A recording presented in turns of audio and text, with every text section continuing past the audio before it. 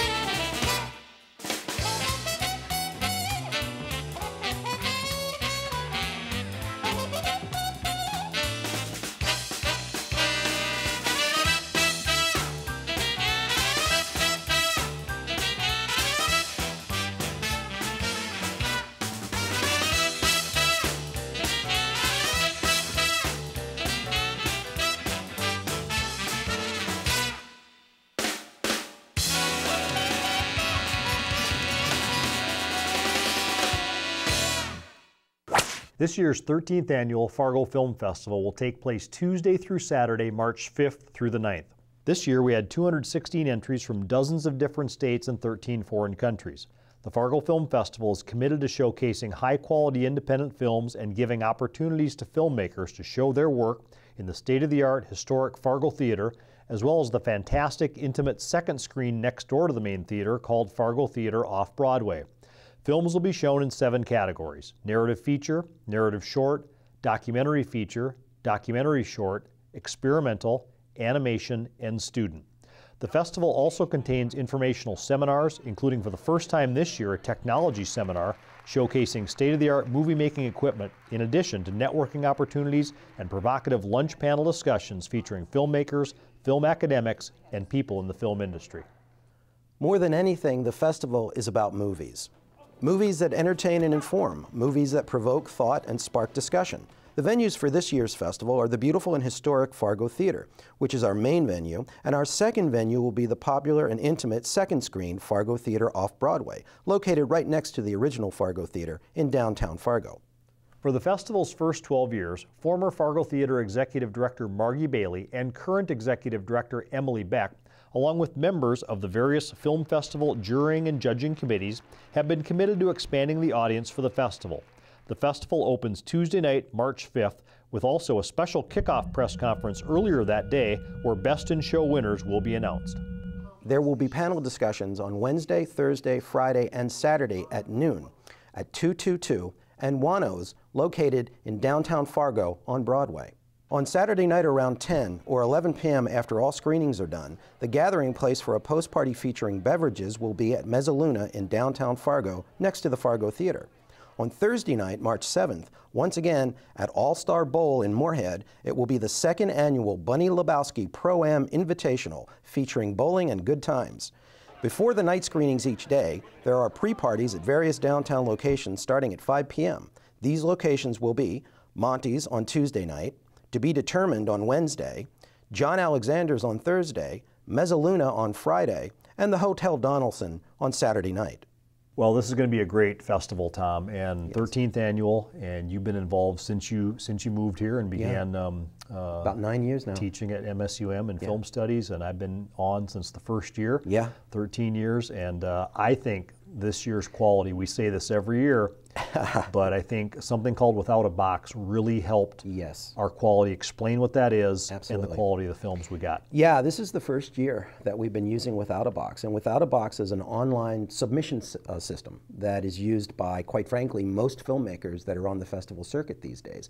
Um, and it's really an easy system to work with. You know, you put all the information as a filmmaker concerning your film online.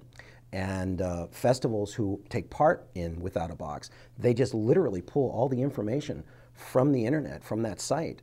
And all you really have to do most of the time is send in, you know, a DVD or something, but everything else is already covered. So, and we have added to the quality of the submissions just because we're using Without a Box this year. And what we found, Tom, was we had so many films in like narrative short and documentary feature and narrative feature. We had to have pre-screening committees to Yeah. look at this stuff ahead of time to sort of weed out the bad ones because not all films make it. We have, Nope. we're committed to high quality. Yep. So really, there was more work this year for the committee members. Yes, there was, but you know, I think all the committee members understood that, and I think they were more than happy to do it because they realized that with that work also brought the reward of having better quality films. So um, it's it's a we had a bumper crop this year. And Tom, you served on narrative short, and just just an example of the bumper crop: two films Yeah. that were nominated for the uh, short subject Oscar. Yes, um, one of those films was Death of a Shadow, which is this amazing film. It's a, a Dutch filmmaker, and um, it's a sci-fi theme.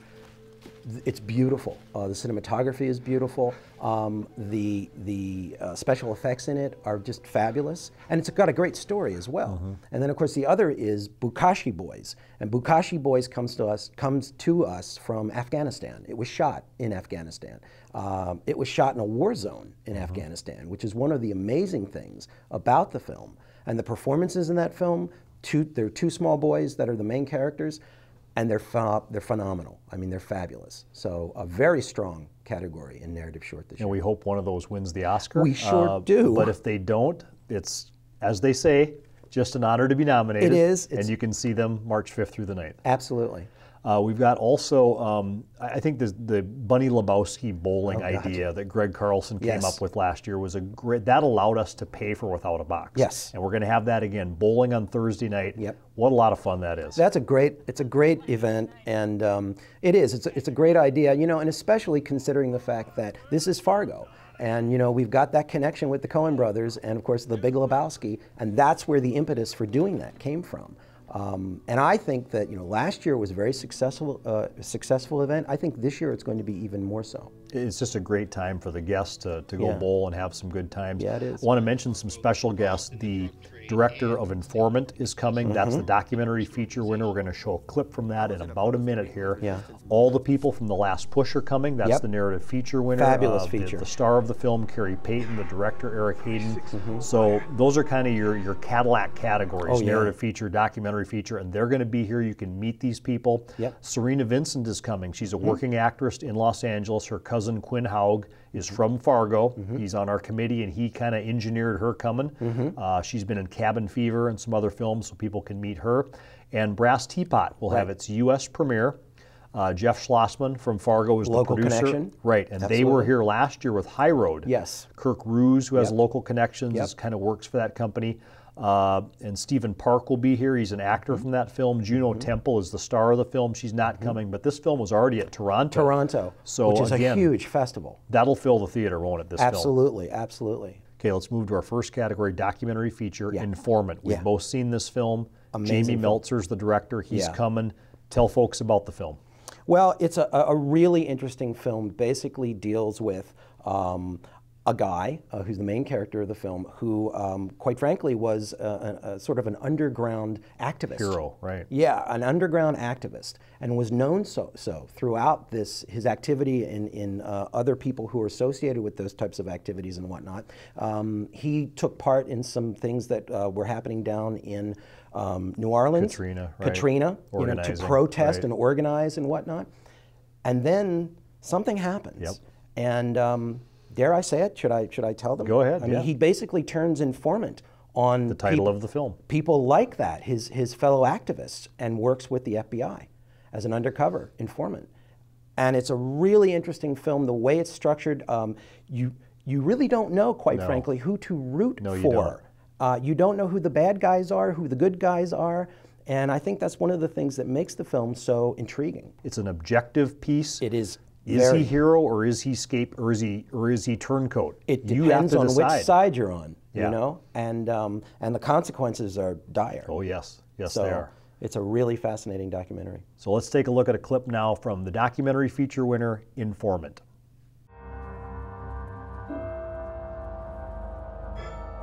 The idea of Molotov cocktails came from Brandon, and it was go look on the website. Here's the website that I know about. Brad, what do you think about this? Brad thinks it's a good idea. David, what do you think about this? I think we can do this. Do you think you can do this? Yeah, we can do it. What do we do? Well, you know, you get the supplies. We'll be implementing this is a tactic. Call me when you're done. Well, he really got into detail there, didn't he? Yeah. That was a complete lie that David said so that he could get off for his crime. The way that, that he rationalized it and also Brad rationalizes that the government was also lying. They're trying to say that they were domestic terrorists, that they had intent to use them, that they were planning to kill people. And in the face of those giant lies that made them look like monsters, this was a minor lie. Informant is a tremendous film. I invite people to watch that. Let's move to narrative feature, Tom. Yeah. The Last Push, another kind of science fiction-y uh, thing. We Yeah. have the cast and the director coming. Yep. And tell folks about The Last Push. Eric Hayden. Um, the last push again. There seems to be uh, a theme uh, this year. We got we got a lot of sci-fi um, in both you know narrative short and narrative feature, and this is a beautiful sci-fi film. Uh, basically, it deals with two astronauts who are on their way a mission um, to Jupiter or past Jupiter, and um, something happens and one of the astronauts is basically isolated. And that's what's really fascinating about this film to me is the fact that the acting job that you know It's uh, all him. It's all Khary Payton. Khary Payton.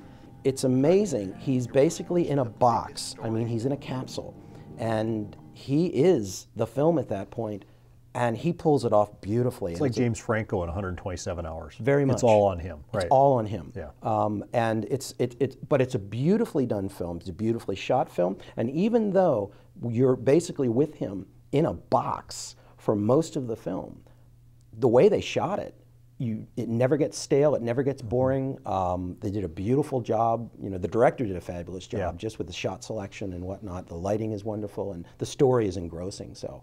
Um, it's absolutely one of the films to look for at this year's festival. And another narrative feature I want people to see is called Dimensions, a line, a loop, a tangle of thread. British film about Yeah. time travel. Yep. uh, Nominated for a bunch of Best in Show awards. You know it. Uh, there again, and time travel. So once again, we have this sci-fi theme going. Uh, this is a beautiful film, beautifully yeah. uh, photographed. So I think that at this point, we should probably go ahead and take a look at the uh, narrative feature winner, The Last Push. You've got a post Venus engine burn that needs to happen. Otherwise, you're going to spend the rest of your life as Venus's only real moon. Unfortunately, from my end, I am looking at an electrical system that is completely fried and, and it, it needs to be rebuilt from the ground up. So you're going to have to perform that engine burn manually, which obviously wasn't the way things were meant to be. The system's primary generator is unstable at best, and you have got to keep the power running. You lose power and you will freeze to death in a matter of hours. Be very careful. Mi- Mi- Michael, what we have here is a classic old school Christmas light situation. Remember at Christmas when you were trying to get your Christmas tree lights to work? And they weren't, inexplicably. And so you had to go through every single bulb and test it to get proper connection in order for the lights to light up? Well, that's what you're going to have to do alone with a 25 gajillion dollar spaceship. Okay, so that was a clip from The Last Push. And um, you know, another really strong category this year. Narrative, uh, Really feature- strong. Yeah, Narrative short, short. yeah. Narrative short was extremely strong, and I think that we owe a lot to you know the chair of that committee, Lisa Feynman. Um, she just went out and she solicited and she found these films. Um, and so, like for instance, the uh, a couple of the films that, that were really standouts were Death of a Shadow, um, which is the winner. is the winner. Death of a Shadow, a brilliant film, uh, beautifully photographed, and again um, has kind of a, a, a time travel theme going to it. I don't want to give too much away, No. uh, World but War One type of thing. oh yep. gosh, but the effects in this Yeah. film, it- just the way it was photographed, and quite frankly, not just photographed, but the way that the photography was then manipulated in post production, it's stunning. It really is. Um, and of course, it's a, as we mentioned Oscar earlier, nominee, Oscar yep. Nominee. Um, and then the other film uh, is, you know, Double or Nothing, and uh, I, you know, Double or Nothing. I think you wanted to speak to that. Yeah. you really like that film. I really like this film. It's another official selection, and Buzkashi Boys is our other Oscar nominee. I invite people to see that as well. But Yes. uh, Double or Nothing, we're going to see a clip from that. You'll see Adam Brody, uh, another actor who's on Chicago Fire. It's about a 10 minute short about a guy who encounters a homeless man. And it's kind of funny, kind of edgy. Mm-hmm. Very edgy. Very well acted. and who wrote the screenplay? Neil LaBute, who uh, did In the Company of Men Yep. years ago with Aaron Eckhart, his humor really has a biting. It's it's not politically correct. No, it's but it- not. But it's very very funny. So let's go ahead and take a look at the narrative short winner, Death of a Shadow, and uh, then we'll also take a look at Double or Nothing.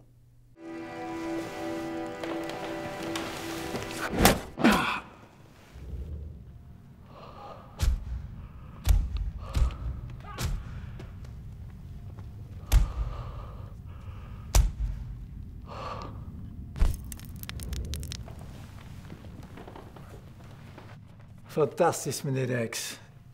Natuurlijk nog wel het werk van een beginneling, die Kassovic, maar toch wel een sterke compositie, een prachtige hè, combinatie tussen angst en lijden, tussen passie en vorm. Ja, wat een energie ook. Hè. Het doet mij echt spijt dat ik u binnenkort moet missen, meneer Rijks. Maar eh, u kunt nog altijd blijven. Nee. Maar waarom zo vasthouden aan het leven, meneer Rijks? Dat beetje geluk tegenover al dat lijden, die pijn. Ik, ik kan u de ware schoonheid van de dood laten zien.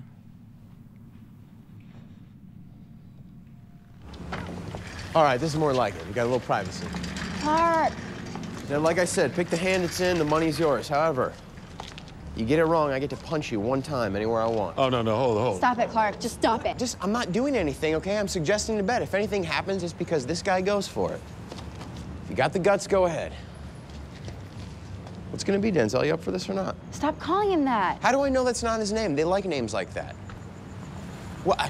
What is it? Tashawn? Julius? Magic, maybe. Clark, now you're just being. Clock, just like you. So we invite people to check out all the narrative shorts, and it's not just those that you just saw. There's a lot of great narrative shorts. Wonderful. And there's some great student films, Tom, this time. I was on the student committee and phenomenal. Of course, uh, um, your students submitted a lot of films too Yeah. at Minnesota State Moorhead. But uh, the University of Southern California really, Yeah. they got a lot of toys out They there. kicked butt. they did. They, you know, They had a lot of films entered, and you know they have a lot of toys out there. Yeah. They can use studio, SAG actors, Yep. and I know that does make a difference, doesn't it, Tom? It certainly does make a difference. And um, but you know, I'll say, uh, as an instructor at MSU in the film studies uh, program, I think it's awesome that our students are entering and competing head to Mm-hmm. head with these films because you know they're going to have to go out in the in the real world of filmmaking and compete head to head with those guys They will, anyway. yeah. So, but there's some amazing films that came out of USC. Um, you know, there's a, a, a the winner uh, this year, Suyako. Suy- Suyako yeah, haunting It is. film. shot in Japan. Shot in yeah. Japan, beautifully photographed. The art direction is impeccable because it takes place over several decades. So they have to sort of jump. It starts in um, the, the late 50s, I 50s, believe yeah. it is, in the 50s, Yeah. and it goes all the way up to present day. Another good film is Offline, which is Yes. our honorable mention winner. We're going to see a clip from that Fantastic Fun. film about what happens when the internet goes down and just chaos ensues all over the world. It's really Student hilarious. film, but it looks like a professionally made film. Wonderful film. A lot of good films. So let's take a look at a quil- clip from Suyaku and Offline.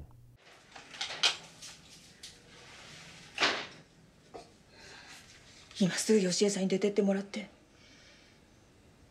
なんでですか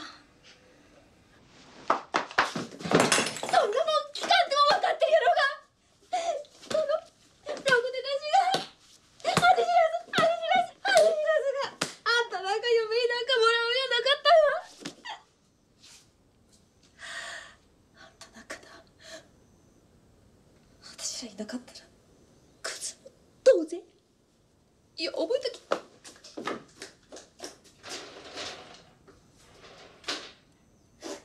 This is John Hatchison with breaking news at Oma One. If you have tried checking your email within the last couple of minutes, you might have noticed that your mail server is offline. There seems to be a high level of reports around the globe that all online activities have vanished. Even my teleprompter is not working. We are currently unsure of the magnitude of the problem. However, what we know for certain is that many local servers have ceased to find a connection, though the internet security company has not released any official statements regarding the issue. A lot of great student films. We invite you to take in as many of those as you can at the festival. Let's Yeah. move on to animation, which has been a very strong category the last three, four years, thanks to Greg Carlson and some other people. Carrie Arnson took over as jury chair this year, and again, Did we've great got a terrific winning film. Yes, absolutely. Junkyard. Um, it is, how should I describe Junkyard? It's pretty edgy. It is. And it's pretty dark. Yep. Uh, but the animation is absolutely beautiful. Yeah. Um, and, you know, even the, the performances, and I can say that, you know, the performances, the voice performances Mm-hmm. from the actors, very, very engaging. Um, it's, uh, it, it- and the, the way it begins actually is just fascinating because it begins on uh, a subway train and there's a, a, a certain flicker effect that uh, the director used as a transition, as a transition from the present to the past, back to the present, and it works really well. So, uh, beautiful film, beautiful film. Let's take a look at a clip from the animation winner, Junkyard.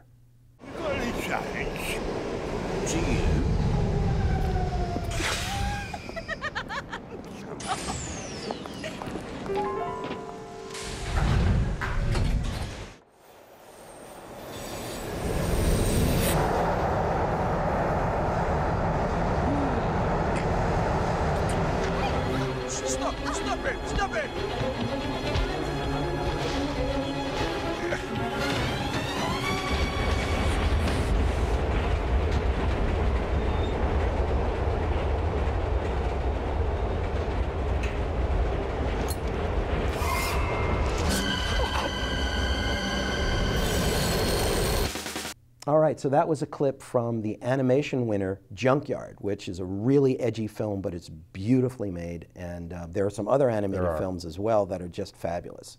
Um, now, another category, which can be, as we say often, a tricky category, is experimental. Mm-hmm. Um, and I really thought that this was a strong year, not was. perhaps the strongest year Right. that we've ever had for uh, experimental, but very strong. And the winner, in my opinion, was Green Lady. Green Yeah, Lady. Loved it. Very strong piece, really thought provoking, and in some ways haunting. And I think it's accessible to mainstream audiences too, Tom. It is. Yeah. It is. Um, it's a film that the um, the if I can say this, being an experimental film, the narrative through line of this film is actually a voiceover.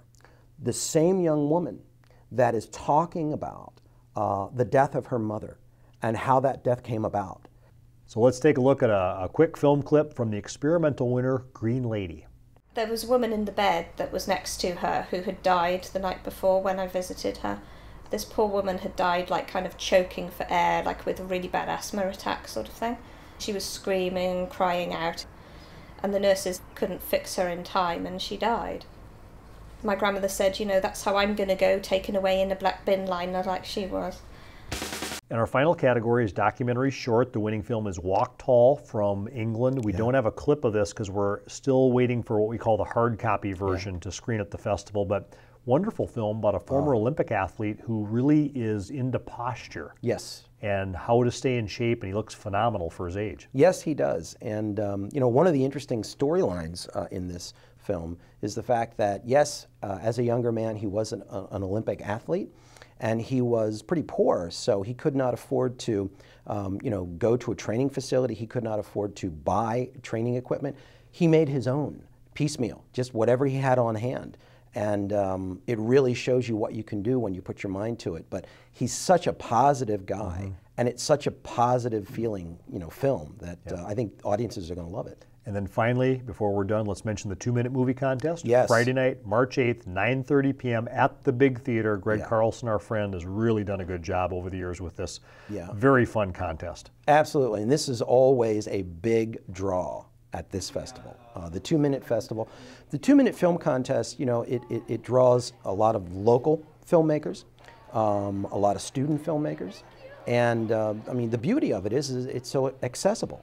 It you is. know, I mean, Anybody can get into this. Anybody can get into this. Um, you know, sometimes I was going to say it doesn't usually take all that much time to make a two-minute film, but that's not true because you could spend a lot of time making a two-minute film. You know, just because it's two minutes long doesn't mean that the production time is shorter. Mm-hmm. You know, so and there's usually some amazing films that are that come out of that competition.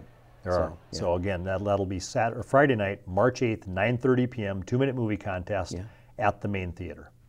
Well, that concludes the 2013 Fargo Film Festival preview show. Remember to check the website for ticketing and festival pass information at fargofilmfestival.com or fargotheater.org, or you can call the festival at 701 239 8385.